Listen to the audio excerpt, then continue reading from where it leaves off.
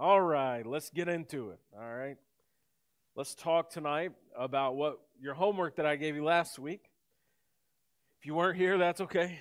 There were some folks that were here and they did their homework. So, um, one of the things that I ask you to do is I ask you to look through uh, the book of Philippians and to, to, look through and look over and look for uh, the theme of joy. Now, I told you to look for things like joy, rejoicing, those sorts of things.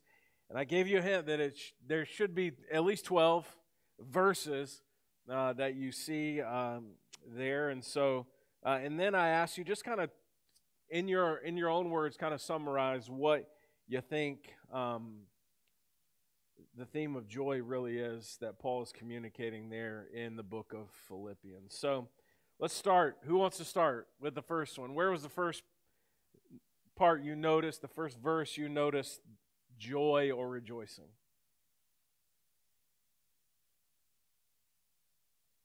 Okay. 1 4. And what did you notice about uh, what Paul says there?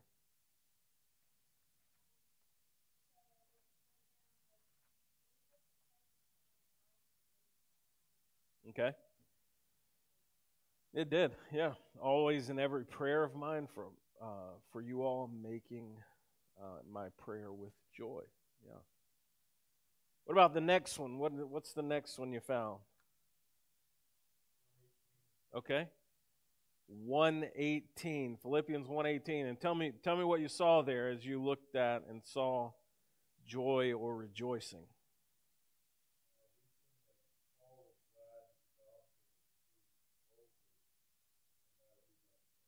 right okay what then only that in every way, whether in pretense or in truth, Christ is proclaimed, and in that I rejoice. All right, what about the next one? Also in chapter 1. 125, all right. And tell me what you noticed, Jay, from 125.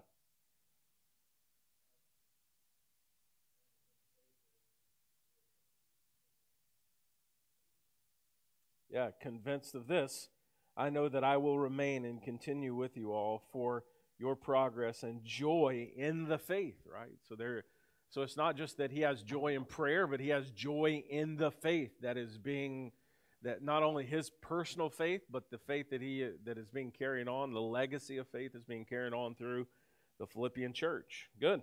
What about the next one? Okay, 2 2.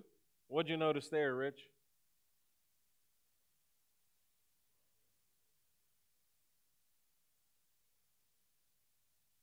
Yeah. So when Paul's looking at the Philippian church, man, he it, it brings him. He says, "I have joy that there's unity, right? That there's humility and unity that exists within uh, the church. There, it says, "Complete my joy by being of the same mind, having the same love, being in full accord and of one mind." Good. What about the next one? What about the next one?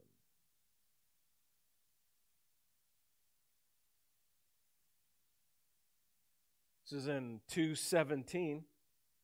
Even if I'm to be poured out as a drink offering upon the sacrificial offering of your faith, I am glad and rejoice with you all. So Paul is saying there, even in, I don't even know if I would say in spite of, maybe in light of, in light of suffering, Paul says that we can rejoice at our faith. Uh, and we, we, because essentially on the day of Christ, uh, he'll be poured out, that his labor is not in vain, right? So that it basically what he's saying is, is that at, at the end of all of this, regardless of how much I suffer in this world, I can have joy because I know, I know when all of this is done, that everything that I put my life into for the glory of Christ, it, it will not return void. That there is reward and, and, and eternal joy awaiting him uh, on the other side. All right, so that was 217. What, what's the next one? there's there's some more in, in chapter. Okay, you have two. So I heard 218, 228, and 229. Those are all, that's three of them. Yep. And so uh, in 218, uh, what we see there likewise, you should also be glad and rejoice with me. So he says to the Philippians, right? You should be glad too. You should rejoice too because we're all running the same race. It may look different, but we're all headed the same direction, right? We're, we're, we will all step into eternity. And if you have faith in Jesus, we all step into eternity with joy, right?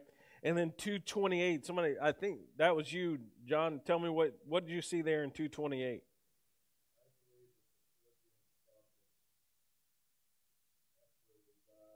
Mm-hmm. Okay.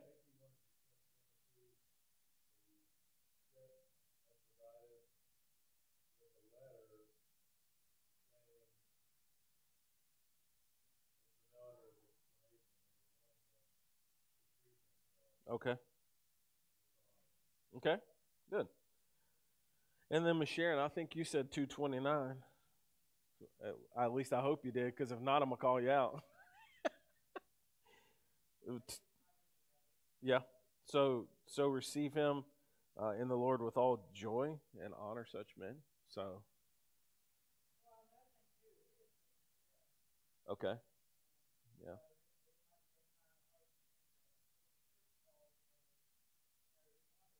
Mm-hmm.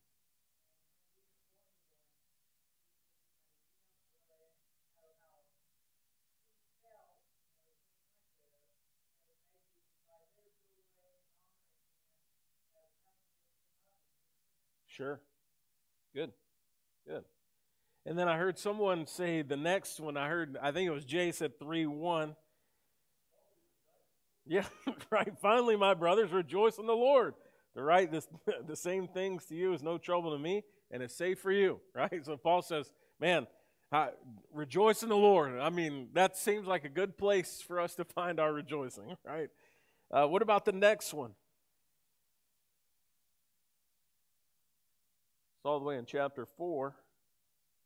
Yep, 4 1. Therefore, my brothers, whom I love and long for, my joy and my crown stand firm thus in the Lord, my beloved. What do you think he what do you think that what do you think he means by that?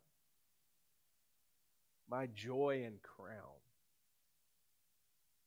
That's an interesting way of putting it, isn't it? What do you think he means by that? Remember, we talked about how words matter when it comes to Paul giving us the scripture. I mean, Paul, but ultimately the Lord, right? So, okay? There's a sense of excellence. I would say absolutely it's a it is an indictment in a good way of the character of the Philippians, right? But it's also Paul communicating basically and essentially essentially to the Philippian church that, that they are they are a reward to him. They, they are the, the, the crowning joy, right? That, that they, Paul has poured his life into the lives of a lot of these people uh, in the area, a lot of the people that are involved in the church in Philippi. And so when, he, when he's looking at them and he's looking at their faith, he, he says, Man, when, when I'm looking at you and, and the way that you're living for the Lord, even though you got some problems and some issues, he says, in light of all of that, he says uh, that you are, that he calls them my, my joy and his joy and crown. His, his it's a it's a reward to him. I think that's a incredible way for Paul to put it, and an encouraging way for Paul to, to put it for sure. What about the next one, also in chapter four? A very famous one, right? rejoice in the Lord always. Again, I say rejoice. Verse four, right? Um, that one really it's there's not there's not an explanation other than rejoice in the Lord and uh, again uh, always. And then he says again rejoice. Uh, at the foundation of this our joy rests in the Lord. All right? I don't want to get too much into that because that gets into this. Absolutely. Right? He repeats it right? He says it twice and in the scripture, if something is repeated, that's a clue, right? That's a that's an indication that that this is something I really want you to take hold of. All right, and the last one. Where is it at? Verse 10 I rejoiced in the Lord greatly that now at length you have revived your concern for me. You were indeed concerned for me, but you had no opportunity. Right? he says, I, I, I rejoice, I have joy that you didn't have the opportunity before, but now you you've you have the opportunity and you're taking advantage of that opportunity to be there for Paul. the way it worked when Paul was in prison is a lot different than when it, the way it works now. there was no commissary. You didn't put money on the books. Uh, and also, it wasn't three hots and a cot, right? Meaning that you didn't get three meals a day and a nice, cozy bed to sleep in. It was the only way that you received any sort of help and any sort of food is for people from the outside to bring it into you, right? So uh, when Paul's in prison, if it had not been for the generosity of the churches, uh, then Paul would have been in a really, really tough spot. But there were a lot of people, a lot of churches that were very generous uh, to him uh, because of his investment in their life and because he was a brother in Christ and, and uh, people served him in that way. And, and the Philippians were a part of that. And, and Paul is thankful that, that they, they had renewed that. Now, let's talk about kind of the summary of joy in the book of Philippians. If I'm going to I'm going to kind of tell you my thought on it, and then you can see where you are, and you can share. If you want to share, you can. But the interesting thing about joy and rejoicing in the book of Philippians is that what Paul does is he, at the foundation of it, it's always Christ, right? It's always rejoicing in the Lord, it's always what the Lord has done. And then from that foundation, Paul builds a theology of joy that is that is it, it covers everything in life. And, and I literally mean everything. I mean the good, the bad, and the ugly, right? When Paul says, When I'm suffering, I rejoice and I have joy because, again, at the foundation of my joy is not this world. It's not what I have or what I don't have, but instead it's, it's simply the opportunity God has given me to belong to Him. That's the foundation of Paul's joy. And so everything is born out of that foundation. And, and for Paul, that means that it wasn't the, the, the ideal Christian. It wasn't to walk around hanging their head in sadness, wasn't, wasn't to walk around and, and have the attitude of Eeyore, right? Woe is me, like this sort of, oh boy, like that's just not the way that that Christian joy works because it's it's not anchored in this life. Now, if you have joy anchored in this life, yeah, you're going to live a pretty Eeyore type existence where it's up and down, right? When you're on the mountaintop, things are good and you find it easy to take hold of joy, but when you're in the valley, it's not so easy, right? There's there's a real fleeting sort of perspective that you have on joy. But ultimately what Paul communicates here and throughout the rest of the epistles that he writes is that just like our faith is anchored in Christ, the joy that we have, the peace that we have, the hope that we have, all of those things are also anchored in Christ, right? That's why Paul would say something like, well, Christ is the chief cornerstone, right? The, he, Christ is literally the piece that holds all of this together, right? And, and, and I think that's what yeah, he's communicating even in the book of Philippians through this theme of joy. So if you have something different, it's, it doesn't, I'm not saying that I'm right. I'm just kind of painting a picture of, in my mind, looking at uh, joy here and what in the verses we've talked about, kind of what Paul communicates. But what what about you guys? Did you have anything that you about the theme of joy that kind of stood out to you, or something that really spoke to you as you look through these verses? Anybody?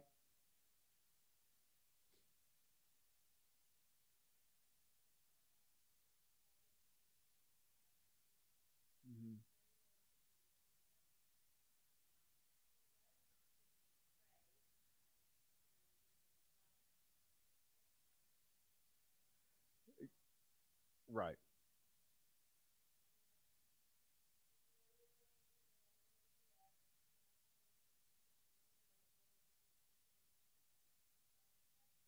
Mm-hmm. Yeah. hey, that that's okay. That's okay. It's not about my opinion on what on the theme of joy. It's about what the Lord is what the Lord moves in your heart as you read these scriptures, as you understand them, right? Um, again, we go we when we're looking at the scripture and studying the scripture the thing that we've been talking about is we go as far as the scripture goes right? And in applying the scripture we go as far as the scripture goes. We don't go beyond that. And so but getting to what the scripture says the scripture says a lot right? And the holy spirit may apply that to my life in a way that and in my heart in a different way because of the things i'm going through than maybe what you would be going through right? God does that all the time it doesn't mean that we're going beyond what the scripture says. It just means that the application of scripture, right, is is very expansive. We just don't want to go outside of what the scripture says in a, in that application, right? And so I don't think we've done that. So we're in, we're in a good a very good place. So uh, let's if if anybody has anything else, now's your time. If not, we're going to keep on. Yes. Okay.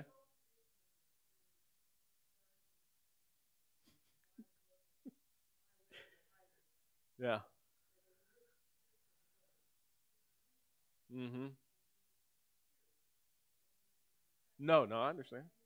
Yeah. Yeah. Yeah, you that's interesting because you're right in that you have you have Romans, you have I mean even in First Timothy and Second Timothy, he, they he's the, the majority of first and second timothy he's he's kind of an encourager but but there's some really harsh things that he says in timothy. But in the pastoral epistles titus timothy and stuff like that you do have this sort of the sort of softer side of paul but but in the and, and i would say in romans too but in the other text that paul writes you you do get a little harsher sort of the, the Pharisee part of Paul, where it's like, I, am of strict adherence to the law, right? And so what he does is he comes, the way that he comes at the church, like especially the Corinthian church, right? He comes at them really hard.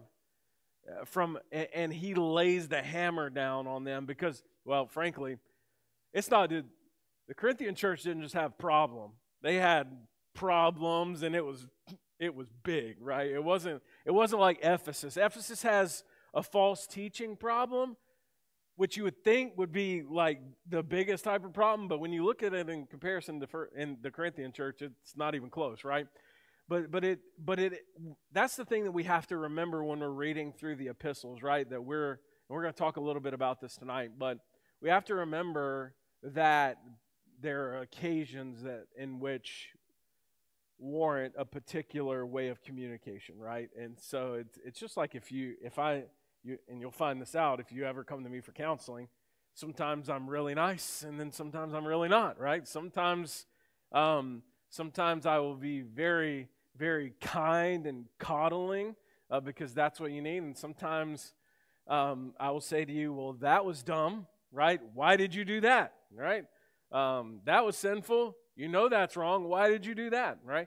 Or I'll say other things uh, that you probably wouldn't like. But um, but it's it's it's the occasion, right? We we look at the occasion that Paul's writing, and I think yeah, Philippians is definitely one of those times. The Philippian church has problems, right?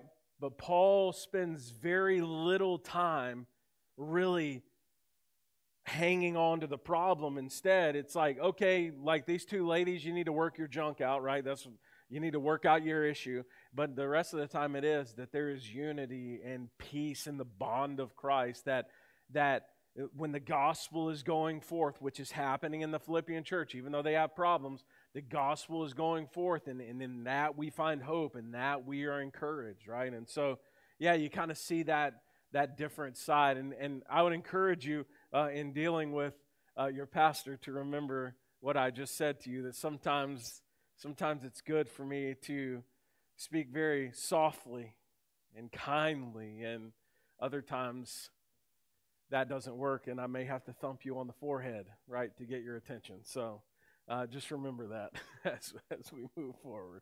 Um, when we've been working through this, uh, through studying the scripture, what, what I have tried to do is I have tried to equip you with the tools necessary and at least with an understanding that would be necessary for you to open the scripture, for you to read the scripture, and for you to come to an understanding. Now, there have only been a few times, maybe three times, that I've talked about using outside resources.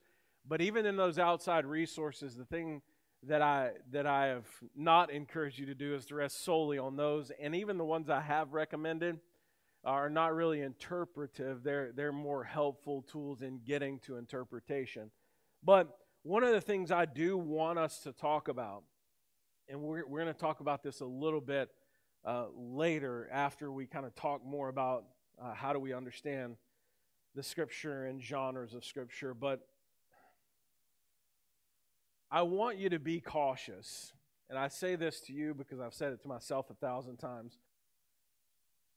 Really easy for us to, instead of doing the legwork, instead of us opening to the book of Philippians and looking through verse by verse and, and asking questions and making observations, it's really easy for us to go online, to buy a commentary on the book of Philippians, and to open it up and read it as gospel truth, right? It's really easy. And there are people that do that. There are pastors that do that, right? That's the way that they uh, that they do things. And I'm not coming down on that, but what I am saying is that we have to be really careful not to deprive ourselves of the joy and the spiritual maturity that comes with studying the scripture for yourself. Right? I appreciate all of you guys being here tonight. I appreciate everybody who comes on Sunday morning. But but the truth of the matter is is that you will never get to a point of spiritual maturity in your life if the only interaction you have with the scripture is on Sunday morning and on Wednesday night. It just doesn't work like that. We're not wired that way. Right? We need daily renewing of our mind. Well, how does that happen? It happens with the word, right? So we need to be actively participating in this walk that we have in this relationship that we have with, with Jesus. I've heard it put a ton of different ways, but um, one of the ways is that, you know, in a marriage relationship, if you're not spending time together, if you're not getting to know each other, if you just get to know each other while you're dating, you get married, and then you just don't care about them for the rest of the time, your marriage is going to be very short, likely, or very unhappy, right? and long and miserable, right? And so, the, the same thing is true of our relationship with Jesus. If, if we think that God works in our heart through the Holy Spirit to draw us to salvation, and, and if we can just get these little glimpses of, of Him on church days or, or what, and through common grace in, in the world, that that's going to be enough to drive us to spiritual maturity, then we will live a long, hard life full of a lot of doubt and a lot of questions right? And so, my encouragement to you is don't be afraid to pick up a commentary and look at what someone has to say about the scripture. But my encouragement always to you first is for you to open up the Bible and work through these steps that we've been talking about for yourself, right? And and and I know that we've spent 9 weeks or whatever it is kind of working through this process, but but the truth of the matter is, this is not a, for, for most of the time, it's not a nine week process, right? A lot of the times, this is a one or two hour a week process, right? Because may, maybe you pick a, on Sunday, you pick a verse or a text or something that you're going to, or if you're studying for Sunday school, right? If you're teaching a Sunday school lesson, right? You know what's coming up. And so you begin working through this process and you work through it a little bit of, at a time, right? That, that's really what I've tried to push you toward as we've been working through all of this. And and I hope that that's kind of where you you are at and we live in a digital world and so I know that there are a ton of resources available uh, to you and I think you should take advantage of those resources but to remember that there is only one infallible and inerrant word that we have that is true all the time, every time, right? And that's the Word of God, right? Commentaries are good. The internet, the Googles is good, right? The YouTubes, right? Some of the stuff you can find on there, there, there are good resources there. But remember that those resources are not the Word, they are resources. They are given to you by, by fallible people, people who are capable of sin who are capable of misunderstanding. And, and so remember that as you look to sort of other resources in the world. Now, I understand that part of the difficulty in reading the scripture, and probably the, the, the, the hindrance for most people, is that you read a verse of scripture, you think about that verse of scripture, you think about that passage of scripture, and then you say, I have no idea what this means. And so, what that does in your mind is you say, Well, if I've put all this time and effort into trying to understand the scripture and I don't, then I'm just not going to try anymore. Right? That that's the way that's what people do, right? If you don't believe me, go teach school, right? That you have to encourage kids to keep pressing on, to keep remembering, to keep renewing and refreshing their mind with the material because for for at least for a lot of kids when I was in school, if it wasn't that if you didn't get it once, you try, try, try again. It was hey, if I don't get this, if I don't get it once, I just move on to the next thing because I'm not good at this, but I'll be good at the next thing, right? And so, but that's not the way that we need to. Our minds need to take hold of the truth of Scripture because it is so important to us. And so, what I want us to do uh, for our time together tonight for the next 20 minutes or so is, is I want to just give you, uh, kind of walk you through what it looks like to interpret and how we interpret principles for interpreting different genres of Scripture, right? And so I want to start with narrative. That's one of the things we talked about. Um, and, and here's the thing I'll tell you about narrative it is not a good idea to try to interpret a story without understanding the broader context in which that story is being told, right? It would be unwise for you to go to the story in Genesis 22, right? Abraham takes Isaac to the mountain to sacrifice him. It's unwise for you to go to Genesis chapter 22 and try to interpret Genesis chapter 22 if you don't know what happened in Genesis chapter 20 and 21, 19, 8, right? And it's also unwise to try to understand that story if you don't know what happens in Genesis 23 and following, right? So here's what I'll tell you about interpreting narrative. And I didn't come up with this. Uh, someone much smarter than me, Gordon Fee, he has a great book uh, called How to Read the Bible for All It's Worth. And here's what he says He says, when we're interpreting narrative, we need to remember that there are three levels. There's the, the bottom level, which is every single individual story that's told in the Old Testament. So every story ever told individually at the bottom level. And then on top of that, the middle layer is the is how that story fits within the history of the nation of Israel. Right? So, when we want to understand Genesis 22, we need to understand Genesis 22, but also how does that fit in the narrative of Israel's history? Because it is very important, right? Um, and then the, the next level to that, on top of that, is how does this fit in the grand narrative of God's story of redemption? Now, I picked Genesis 22 because that's an easy one, right? It, it, it's, it gives us a type, right? It, there's, there's typology there. It's pointing to Christ, right? The sacrifice of Isaac is a picture of the sacrifice of Christ. So that's how we understand it, right? But, but when we're looking at narrative, that's the way we need to look at it. We need to remember those layers, and that if we're going to be interpreting a story in the Old Testament, we need to identify all of those layers so that we can understand it in the right way. All right? I would say that that another prime example is not just Abraham but David if, if you really want to understand David, you need to understand his story and you need to understand his story in history, right? In the history of the nation of Israel. And then you need to understand the, the uh, importance of David in God's grand story that he's telling throughout Scripture that ultimately, again, points to the, the ultimate King of Israel, right? The Lord Jesus. So, again, I'll tell you this too about narrative.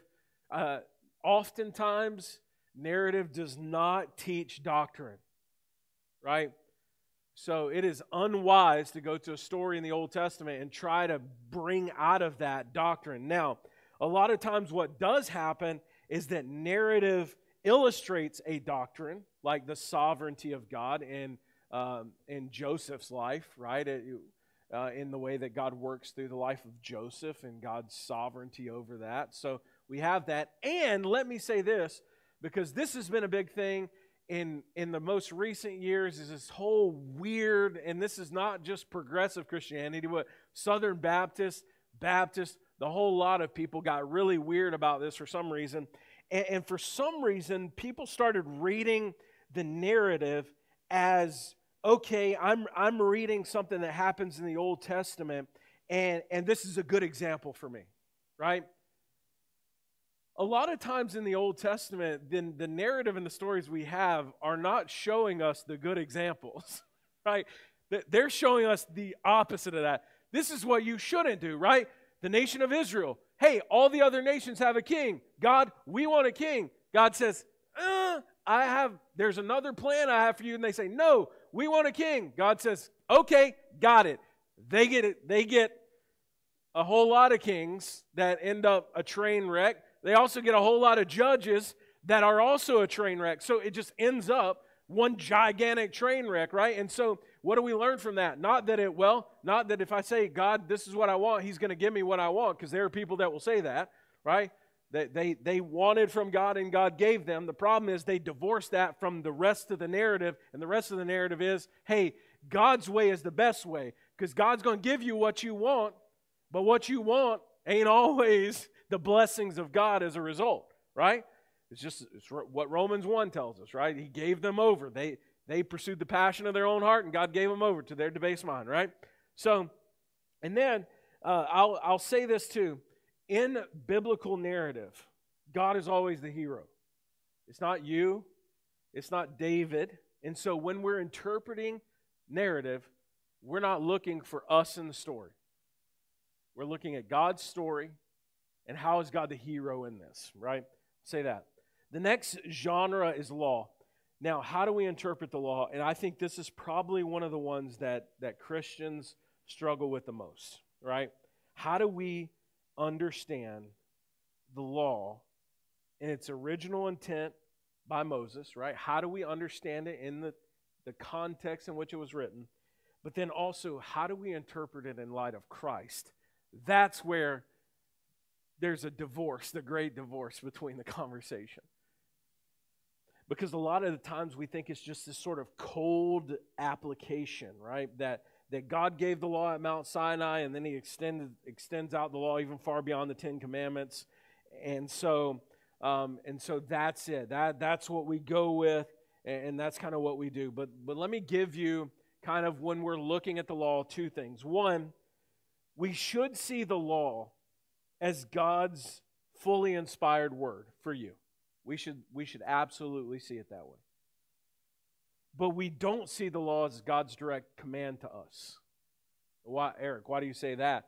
Well, how many times have you asked? I, I can't tell you how many times as a pastor someone's asked me, why do you feel about tattoos, right? And they'll go back to the Old Testament. And here's the thing about it is that the Old Testament law is the basis for the Old Covenant. That, that it's the basis for the old covenant. And so it, it's Israel's history. But the Old Testament law is not binding on us in the New Testament because we're under a new covenant. It's a different covenant. It's the fulfillment, the ultimate fulfillment of the old covenant in what we have in the new covenant.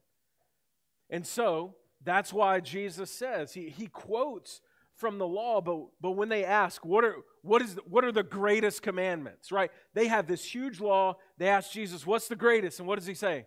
You love the Lord and you love your neighbor as yourself. That, that is the fulfillment of the law. And so, what Jesus is doing is he's not cutting down the law, but what he's saying to them, and what he does say, is, I didn't come to abolish the law, I came to fulfill it. So, Jesus is the fulfillment of the old covenant, right? And now we've been ushered into this new covenant. And so, as Christians in this world, we're not looking back at the old at the law and saying, okay, well, how, how does this bind on me? But instead, we're looking back to the law and we're reading it, we're meditating on it, and, and, but, but we're meditating on it as those who are dead to, the, to that, right? We're, we're dead to that requirement, right? Why? Well, because Christ has already fulfilled that, right? So we're looking back at the law and we're interpreting it that way as a part of the nation of Israel's history and God in the old covenant. Right? And so for us, we have to remember that Israel, for Israel, the law was the covenant stipulations that should be kept. It, it demanded, it had demands on the people of Israel. Absolutely, it did as God's people. But that is not the way it works after Christ.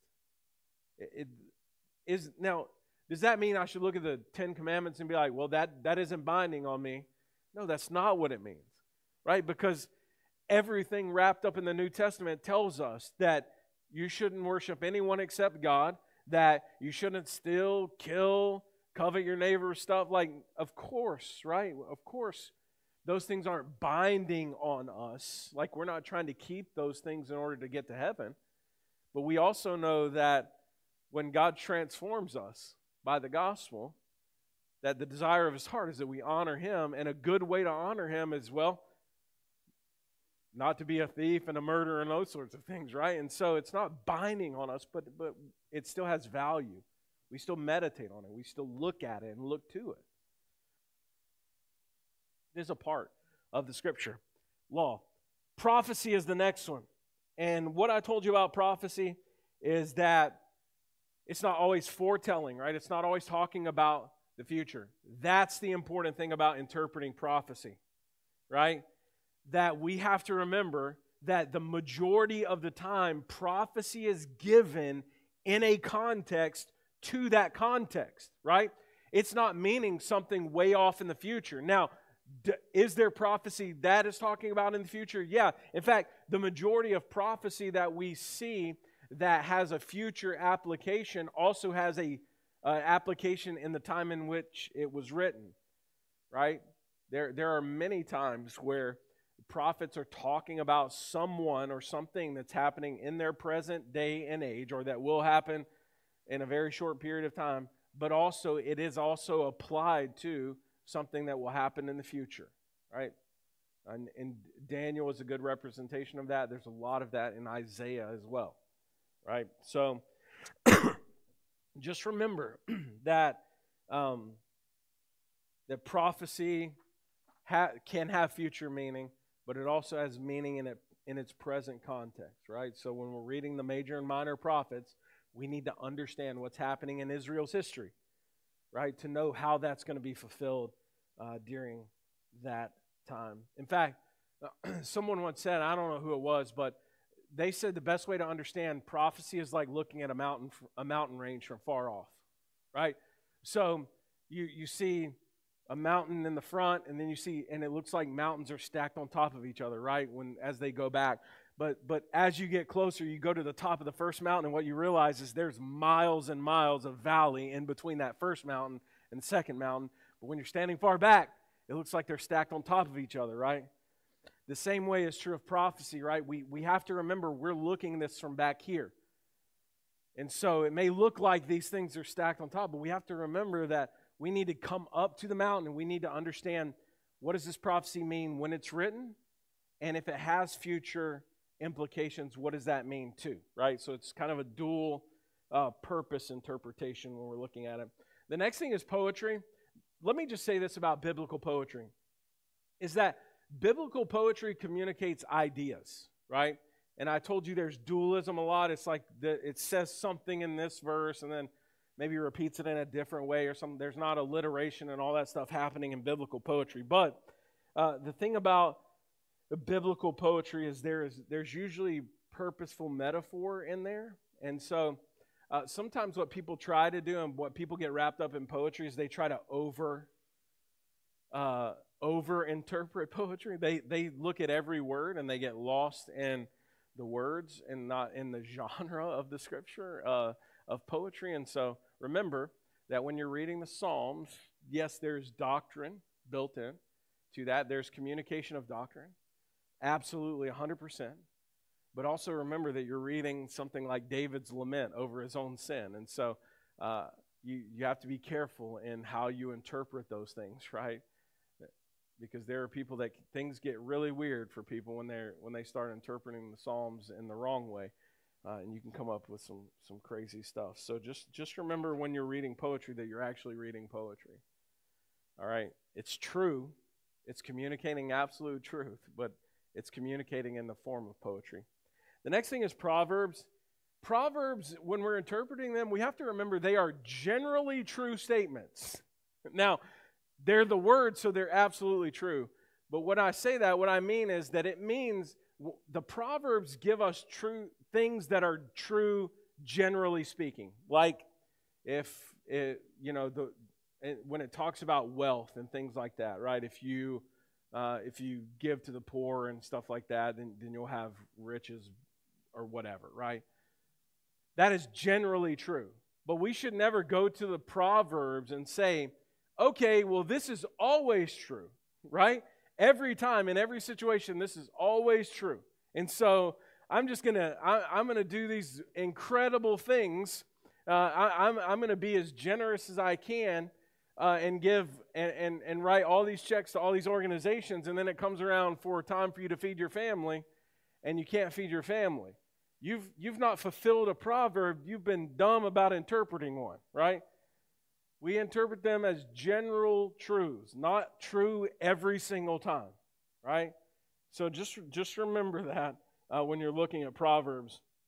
The next thing is Gospels. Now, I'm just going to say this the best way I can about Gospels. Remember that the Gospel writers are writing to communicate uh, things about biographical information about Jesus, but they are not exhaustive. Meaning that John even says, listen, there, there's, there wouldn't be enough books in the world for us to write everything that Jesus did. And so John says, I, I, he says, I'm writing that you may know that Jesus is the Christ, the Son of God, and that by believing in him, you would have life in his name. So John tells us the reason he's writing. Matthew writes for a different reason, Luke for a different, Mark, all of them. They're writing for different reasons. And so we're reading them and interpreting them, interpreting them with those things in mind, right? Luke is a doctor, right? So he's writing in a lot more technical Greek language. He's writing uh, things uh, in a way.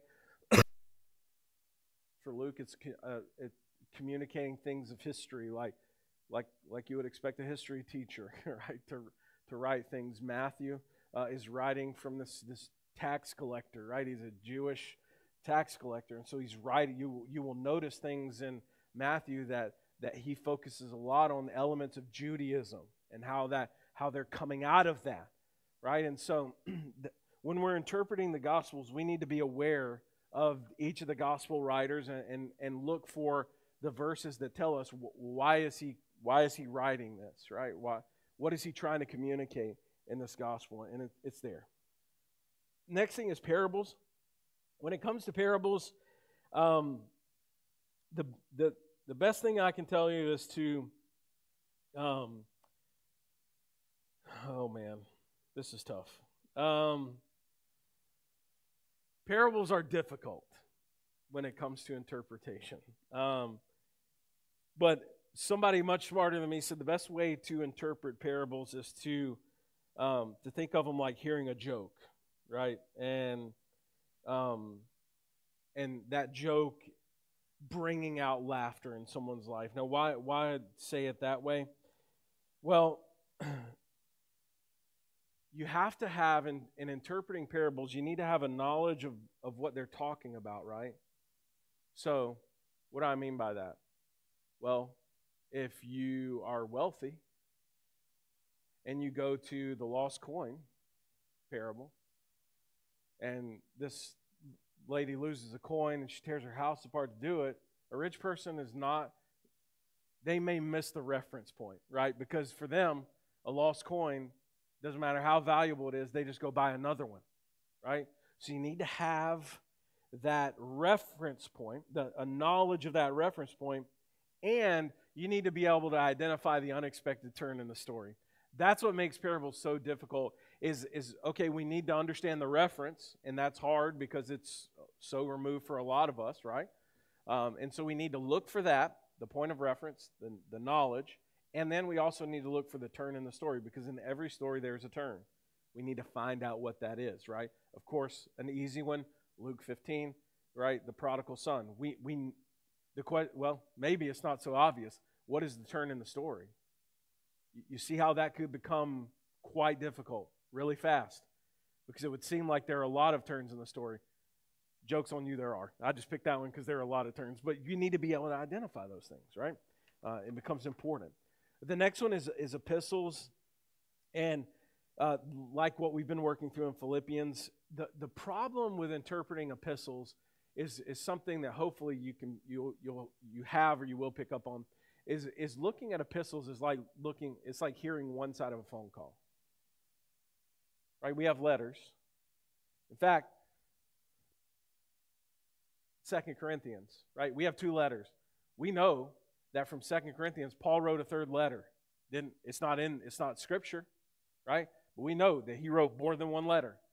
And so but we only have we have one side of this thing.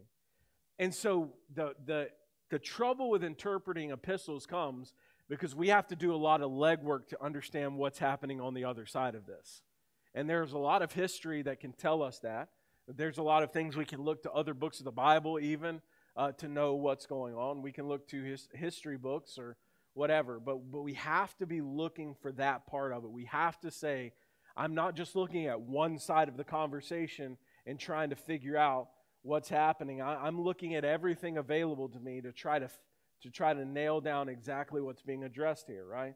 Um, it becomes important in things like in books like Galatians, right, where there there's issues between Jews and Christians about circumcision, and Peter's involved in some things, and Paul rebukes Peter and all that.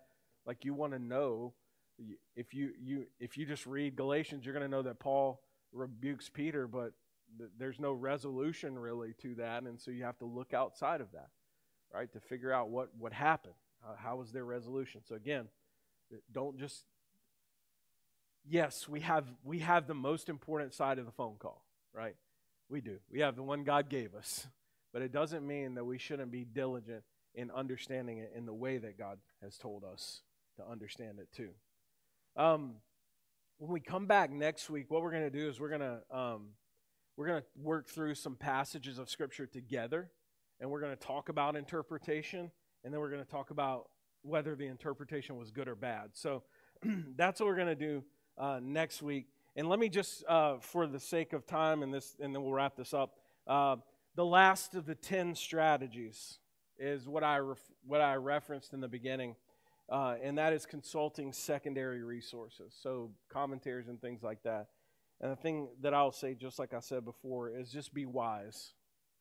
Be wise, and don't don't let that become your sole uh, your sole means of receiving the truth of the word through commentaries. Even if that commentary is preaching and teaching, you got to open the Bible for yourself, right? Look to the scripture for yourself. That's the only way you're going to learn.